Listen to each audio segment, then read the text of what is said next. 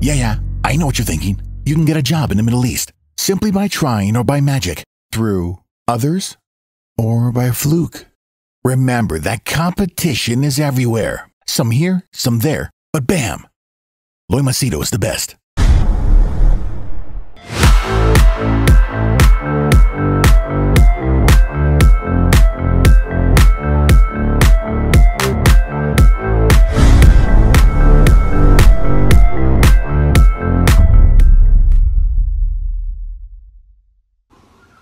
Alright, since all of you requested me to show you a video of me feeding my uh, sugar gliders, uh, I'm going to show you. Uh, right now they are outside.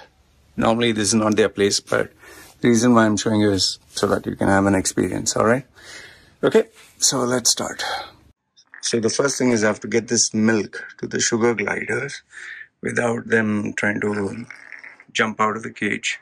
So there are four of them just don't mind because I have just one hand.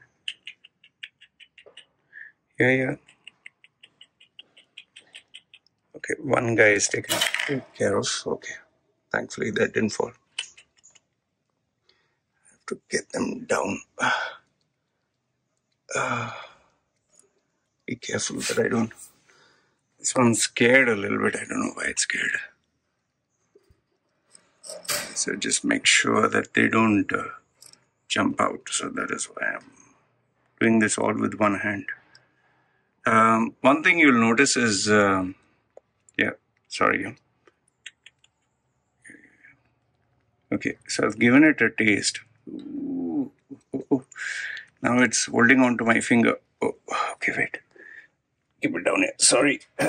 This is proving to be a little problematic because I have just one hand. Okay. So one of the sugar glide is here. Mum, mum, mum, mum, mum. So this is the signal that I give them. Normally sugar gliders are not comfortable having other people, uh, you know, come into their territory. They are very shy animals, they're very afraid. And uh, it's only because I've been feeding them. Come, come, come, come, come. Come, come, come, come. Okay, I don't know if you can see this. Okay. Uh, okay, okay. It's hungry, but the problem is it is shy also. So I have to get it down. This guy has to come down. So as of now, I'll focus on these three. That guy will come automatically down. See, he's coming down. Okay. So here you have the sugar gliders. Normally, they'll not allow you to put your hand or, you know, because they're very shy. They're very delicate creatures. They're very afraid, and um, you know, it's more like uh, you really have to earn their trust. See, now I can put my hand here. Generally, if you try to put your hand, they will just scream or they will run off. Come. This guy is still wondering how to come down. Wait, wait. How do I bring this guy down? So he'll figure out. As usual, they always figure it out. Okay so now all four are down here. So you can see me keeping my finger here. This my finger or my hand they will not allow.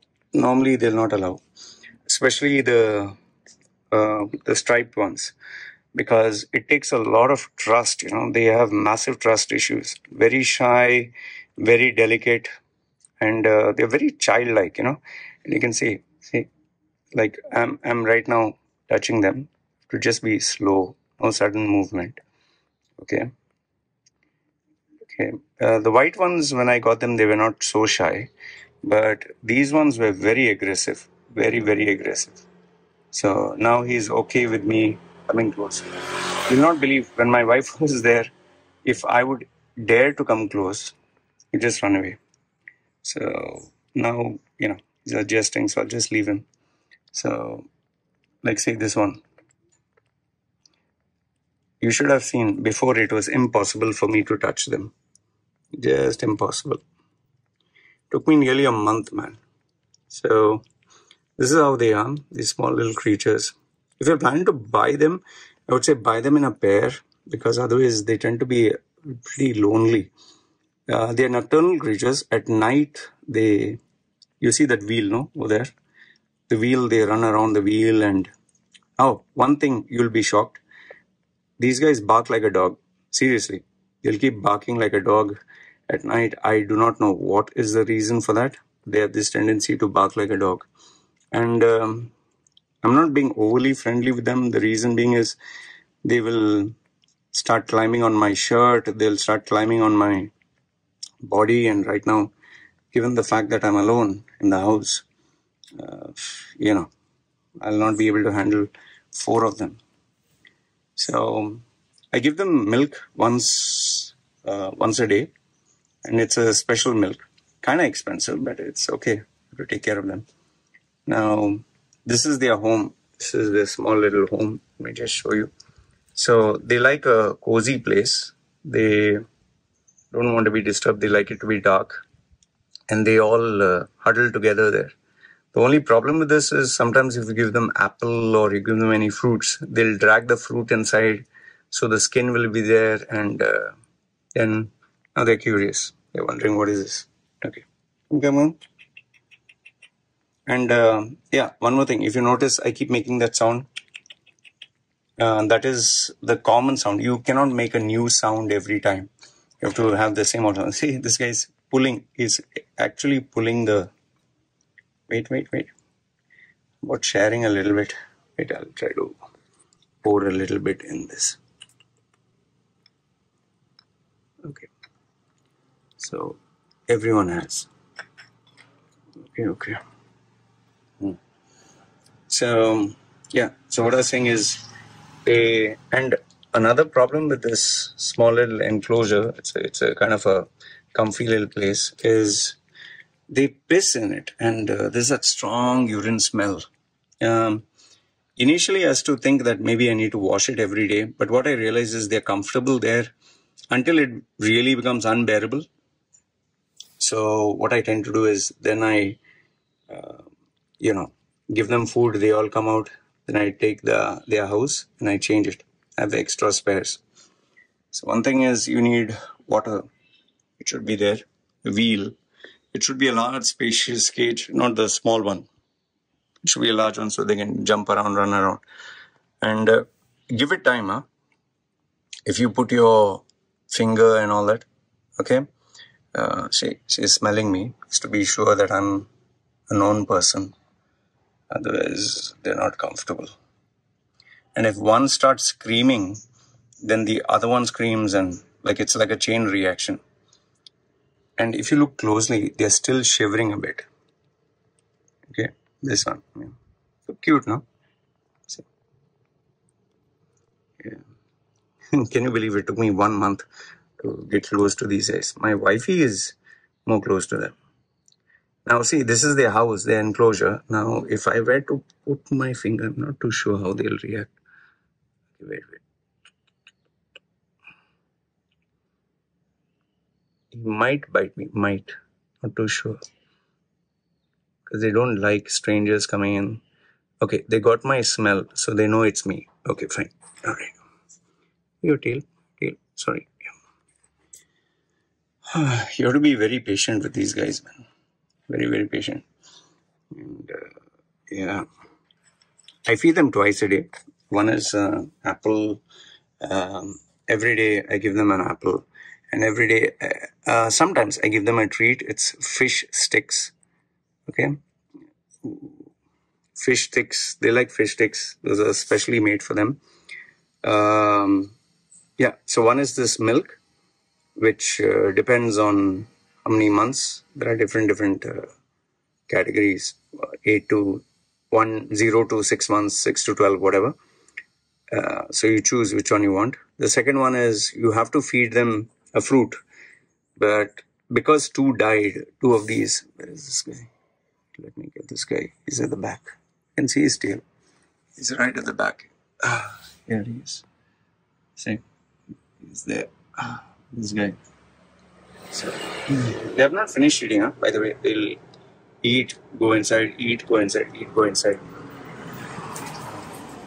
Yeah, so what I was saying about food is uh, milk apple um, the fruit to be careful what you're giving them like for example if you give watermelon should not give them with seeds can be dangerous for them. And uh, because two died, uh, the pet o- you know pet owner and their staff said just give them same food every time so their stomach gets used to it. Yeah. I don't know why these guys are at the back. I guess they are comfortable. Don't want to disturb them. Hey, how are you? Yeah. So if you ask me, um, I'm okay with either white or the striped ones. My wife is very particular about white. I guess uh, Thai people love anything that is white. White dog, white cat, white chipmunk, white uh, even sugar glider. He's shivering. You can see her? Shivering. So I have to be careful not to make him afraid. Even when I touch his ear, he's a little shy. See, he went inside. Because, you know, I know you must be saying, isn't the house collapsing on them? uh, well, uh, they, they like it to be a little cozy. So, they still eating. Not yet finished.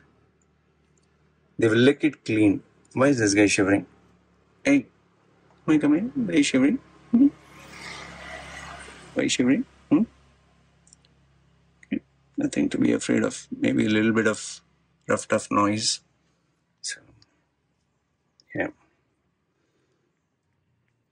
Back to eating. Like I told you, they have not finished eating. They will eat until everything is done. Eat, go inside. Eat, go inside. Eat, go inside. And um, by the way, you'll not appreciate how difficult it is for me to get these shots. Uh, what you do is uh, see if you can get uh, go see uh, sugar gliders. Just go see if you can get any of them. Uh, put your hand there, or just go close to them. You'll see them screaming. Why is he shivering? Are you okay? You okay? Hmm? Okay. Okay. Okay. I think they prefer the dark. So yeah, these are my sugar gliders. Uh, two of four of them. Two are inside, two here, and uh, uh, I think they're not used to the sun, so I'll take them inside. So anyway, I hope you enjoyed this video.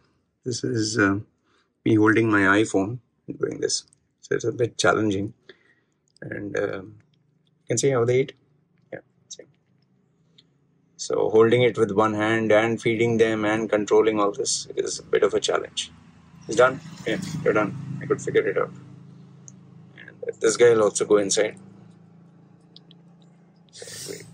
Oh, see, I moved my foot and they both got scared. You have to be careful of sudden movements. Even if you make noise, my daughter has a habit of making big noise out of excitement. They get very, very scared. So, yeah, that's what I can suggest for sugar gliders.